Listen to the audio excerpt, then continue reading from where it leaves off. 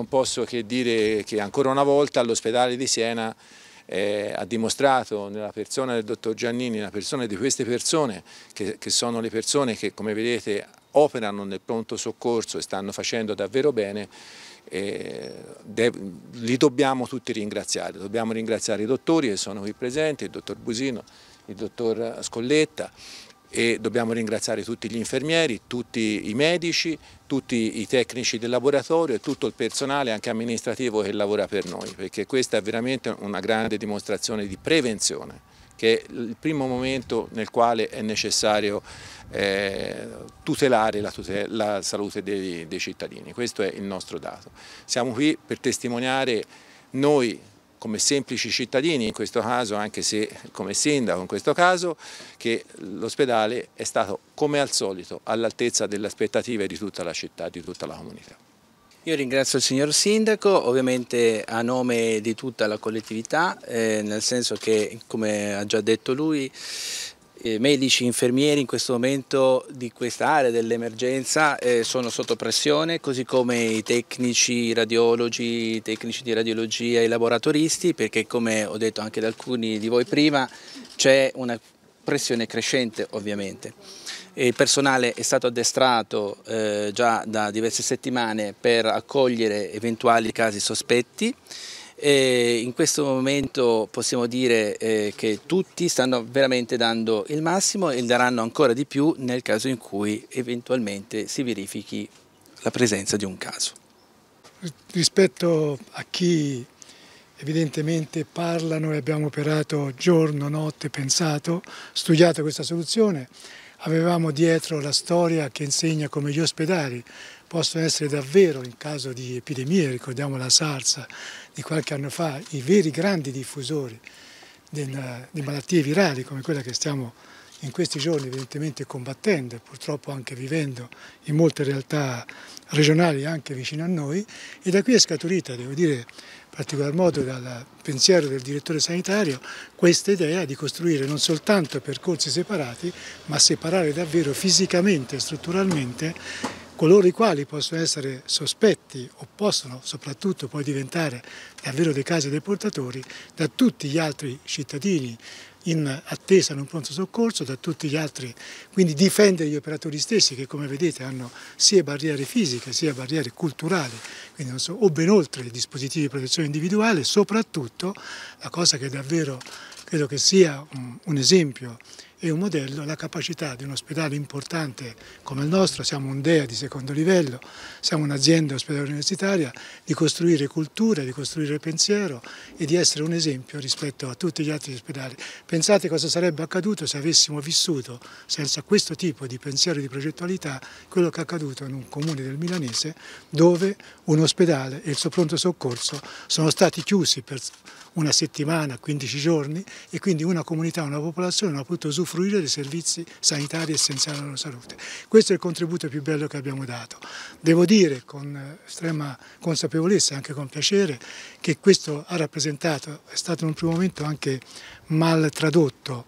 ha rappresentato un carico operativo di pensiero, di lavoro di tutti gli operatori del pronto soccorso, c'è stata una generosità, una disponibilità assoluta, in quel momento lo si è fatto esclusivamente con gli strumenti contrattuali che avevamo a disposizione, a dimostrazione di come un ospedale, i suoi professionisti, i suoi sanitari sono sempre al servizio degli altri. E quando questo servizio è necessario e importante come in questo momento ci sono e sono all'altezza di esserci. L'ospedale sta ridisegnando se stesso, questo è un ridisegno di un percorso percorso che poi evidentemente entra nei casi, esattamente che ci auguriamo mai, eh? neppure il primo, non ci interessa trovare il primo caso,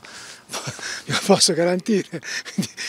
non, sarebbe, non, ci piacerebbe essere di fronte a telecamera non c'era che abbiamo trovato il primo caso, non che questo ci metterebbe assolutamente in difficoltà o in crisi organizzativa, però poi da questo si noda dentro l'ospedale un percorso al quale credo l'ospedale, soprattutto l'ospedale moderno, debba sempre di più prepararsi. Voi avete visto come nei mesi passati l'esperienza del New Delhi, lo ricorderete, no? l'ospedale messo evidentemente in difficoltà, in, in tensione, eh, il futuro dei grandi ospedali è questo, quelle malattie infettive che pensavamo un ricordo del passato, un po' sono un ritorno grazie allo scellerato uso degli antibiotici che abbiamo fatto sulle malattie batteriche, d'altro i virus che sono questi grandi messaggeri evidentemente probabilmente di, nel tempo di variabilità genetica, di, di quello che voi volete, stanno diventando sempre di più aggressivi e soprattutto c'è una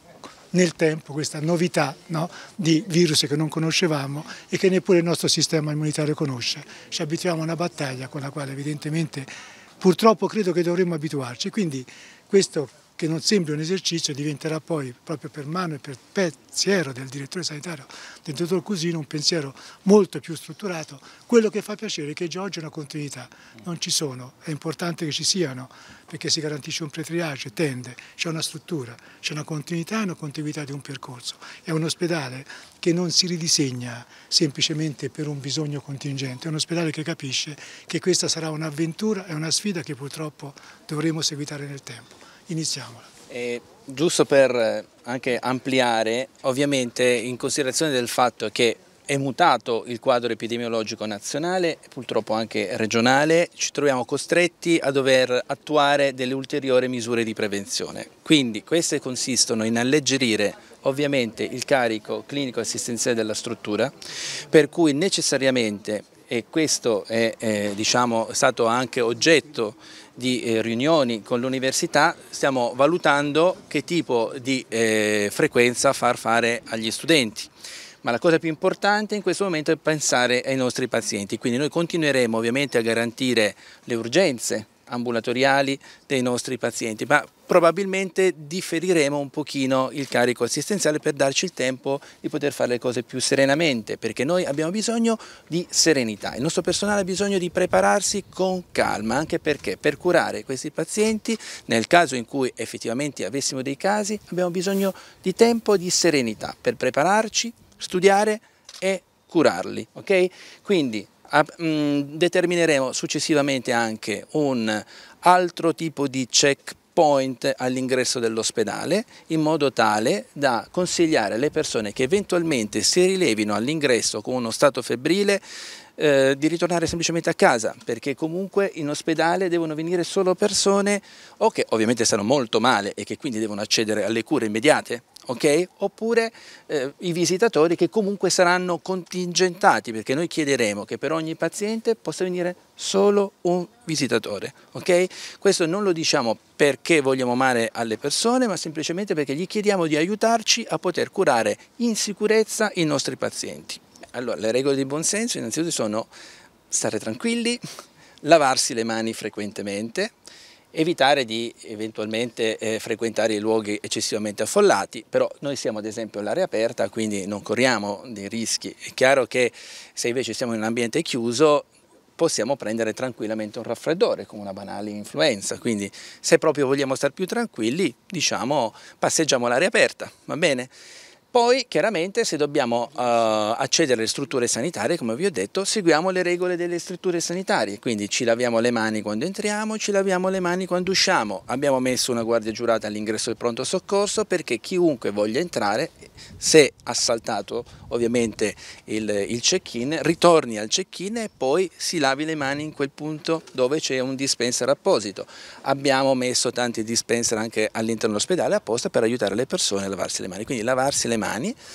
poi quando si tossisce ovviamente o si starnutisce, coprirsi naso e bocca, possibilmente con un fazzoletto monouso, così come eventualmente in assenza di questo coprirsi con il gomito, hm? bocca e naso. Questi sono diciamo, i primi consigli che possiamo dare. Sì, eh, in conclusione, oltre a ringraziare tutte le persone che ho ringraziato, ringrazio il mio assessore Francesca Polloni che ha fatto davvero un grande lavoro e l'università, perché ha ragione il dottor Busino quando dice che c'è stato un coordinamento molto forte, anche stamani ci siamo sentiti con il rettore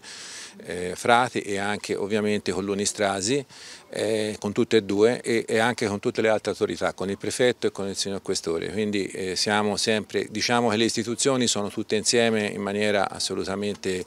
plastica diciamo, sotto questo profilo. Quello che vorrei raccomandare alla popolazione è di non farsi prendere dal panico, questo è il primo dato. Eh, non c'è bisogno di prendere d'assalto i supermercati, seguire le, le regole che, sono già state dette meglio di me eh, prima, però eh, cerchiamo di vivere una vita normale, ovviamente eh, la vita di relazione ci può creare qualche, qualche preoccupazione più che problema. Eh, cerchiamo di eh, utilizzare tutte le cautele del caso, però viviamo anche la vita normale, facciamo le cose che facciamo sempre con un minimo di criterio di discernimento, questo sì, però niente allarmismi, niente razzismo e quindi viviamo questa città come è sempre stata, una civiltà. Voglio anche dire questo, questo è un'eccellenza, noi chiediamo e chiederemo fortemente alla Regione Toscana di mantenere questa eccellenza eventualmente di potenziarla, ma è già un'eccellenza assoluta di cui i cittadini senesi sono soddisfatti, ma vogliamo che la Regione Toscana la consideri come tale e ne rispetti i servizi che dà tutti i giorni ai cittadini. Beh, per il momento le attività universitarie continueranno regolarmente, l'unica precauzione che siamo costretti a prendere è quella di sospendere temporaneamente la frequenza dei reparti ospedalieri da parte degli studenti dei corsi di laurea di medicina e chirurgia, odontoiatria e delle professioni sanitarie. Questo provvedimento si giustifica con la necessità di ehm, eh, di eh, indebolire, di abbassare la pressione delle persone nei diversi reparti perché eh, i reparti sono pronti e concentrati eventualmente dovesse arrivare un'emergenza e qualora arrivasse un'emergenza è meglio che tutto il personale sia concentrato a gestire l'eventuale eh, emergenza. Quindi trattandosi anche di un momento in cui c'è un silenzio accademico per cui eh, il semestre ricomincerà soltanto eh, lunedì prossimo, intanto per questa settimana sospendiamo la frequenza che è il momento più eh, caldo, sospendiamo la frequenza ai, ai, reparti. Per tutto il resto le attività universitarie continuano eh, regolarmente, gli studenti potranno frequentare il complesso dei dati o le biblioteche, tra l'altro a disposizione abbiamo anche qui vicino il complesso didattico di San Miniato che potrà eh, essere lo spazio dove anche gli studenti eh, di medicina potranno andare a studiare, a, a, anche a, a, lavorare insieme eh, nella preparazione dei loro esami. Ci aggiorniamo costantemente con gli altri rettori eh, delle università toscane, a cominciare dal professor Cataldi dell'Università per Stranieri e il professor Dei e il professor Mancarella delle università di Pisa. Siamo molto coordinati, cerchiamo di fare gli stessi passi tutti insieme e siamo coordinati anche con la Regione Toscana, il governatore, l'assessore Barni e ci siamo sentiti più volte in questi giorni anche con il Ministro eh, con il quale abbiamo condiviso la linea da seguire. Credo che abbiamo dato un bel esempio di eh, coordinamento, di coordinamento efficace eh, sia sul piano strettamente universitario che più in generale sul piano che riguarda il coordinamento regionale e il coordinamento con il governo e con il nostro Ministro.